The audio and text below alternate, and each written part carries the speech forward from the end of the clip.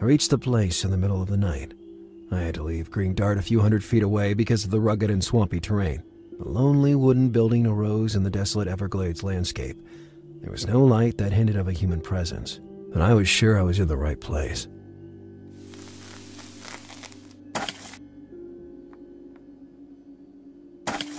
I needed to arm myself before proceeding.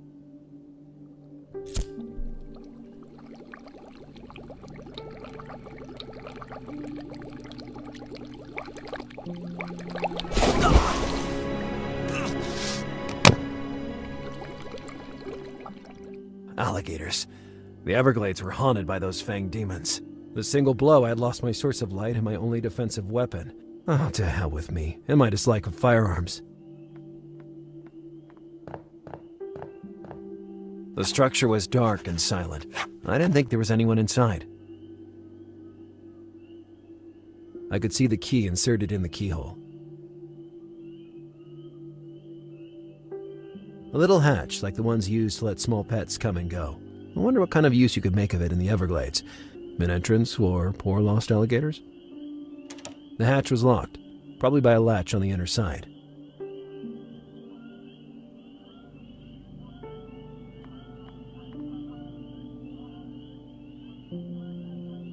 The frame was hopelessly blocked, and the only room to maneuver was through the crack that remained ajar. I couldn't reach it. With that, I could reach the latch keeping the hatch closed. The lower hatch of the door was open. The trick of the key dropping on a newspaper and then slipping it under the door only worked in the movies, but I had another idea in mind. I'd broken my very useful antenna, but at least I was able to poke the key out of the lock and make it fall on the floor of the cabin.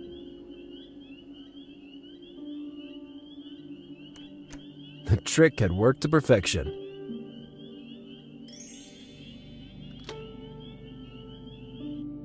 The shed was completely empty, with the exception of an abandoned envelope on the table.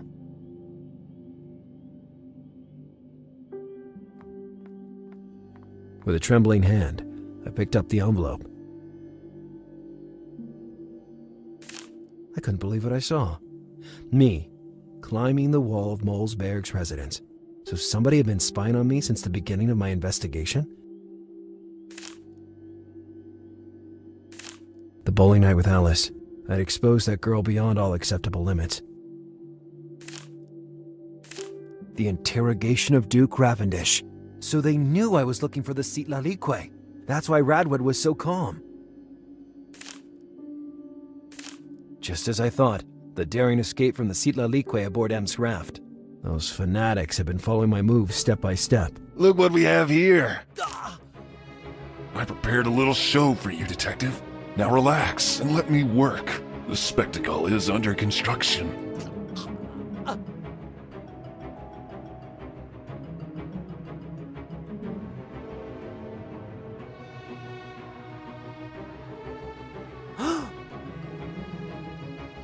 You. Not another step, Detective, or I might lose control of this old, trembling hand and make a fine mess. Hands in the air and no tricks. If you so much as touch her, For goodness sake, Bundy, do what he tells you. Wise suggestion, Eric. We don't want this innocent creature to suffer any premature pain, do we? For the love of God, let my grandson go. First, you give me your daughter, and now you pretend to play the role of the thoughtful grandfather. the kidnapping. The kidnapping wasn't planned. Molesberg had promised not only Catherine, but also the baby born of your relationship. But it seems that the word of a businessman carries very little weight these days. I was blinded. All the power you promised me isn't worth the sacrifice of. Uh-uh, Eric. This knife is becoming heavier and heavier. If this is really the end of the road, at least I want to know why. This is not a pathetic theatrical performance with a happy ending, Detective. I've been watching you, so I know you didn't warn anybody about your solo plan. Because this is what you're used to do, isn't it? Following your ambition without any compromise. Putting your work ahead of everything else. Ahead of family. Leaving it behind in the name of your ambition. Ahead of the few friends you've had. I fulfill the emptiness of your existence. That's why you desperately need me. And that's why you can only watch helplessly. So now, if you don't mind, No! Hold it right there. Keep your hands up where I can see them. like this?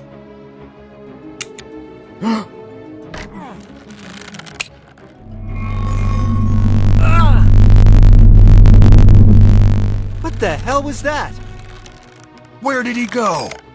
The window! Quick!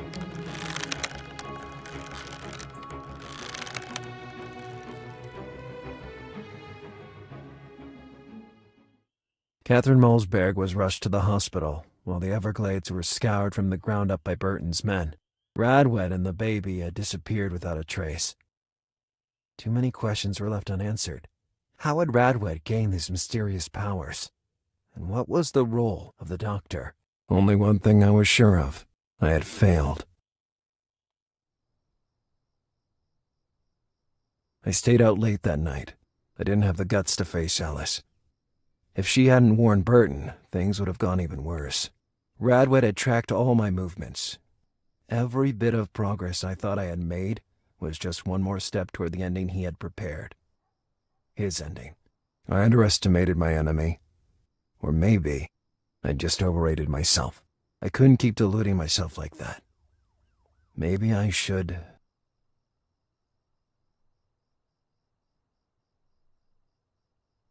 Drop my last line of defense.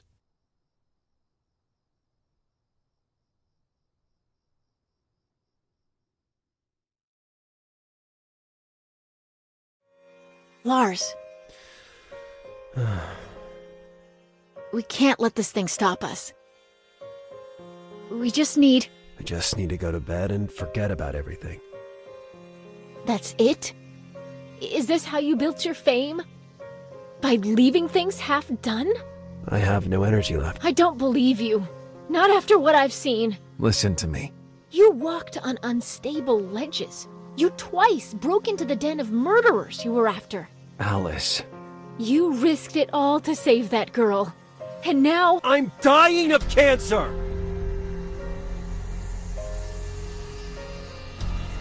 What? You run out of words? Didn't your kinetic superpower see that coming? I know what you're thinking. You're thinking it'd take tremendous effort to hide such a disease. And you're right. And yet it's far worse than you think. Having to pretend every minute in front of others. In front of your boss, your colleagues, your neighbors, the supermarket cashier. Having to look confident, brilliant, unshakable, invincible. Yeah, I lied. I created such a well orchestrated charade that I ended up believing it myself. I lied because I didn't want to suffer the look on your face right now concern, sympathy, pity. I don't want anyone looking at me like that. Not once. I was the best at what I did. I was the detective who flushed out all the cruelest and smartest criminals on the East Coast. And I need to be that guy again. Even if my body betrays me and stabbing pains pierce my mind. I was hoping this case would be the last blaze of glory for Lazarus Bundy. But maybe. Maybe. It's beyond my reach. I can't face all of this, Alice. Not in this condition. I can't stop them. The masquerade is over.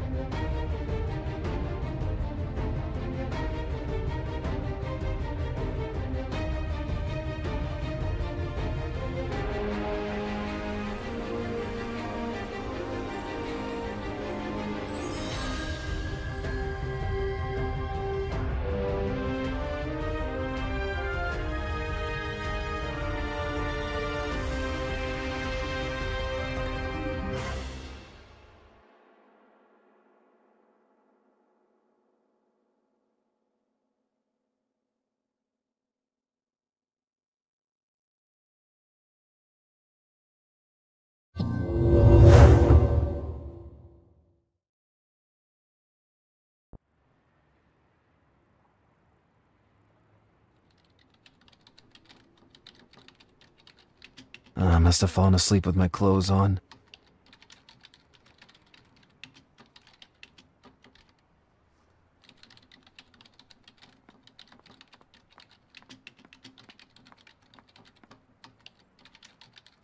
What are you doing?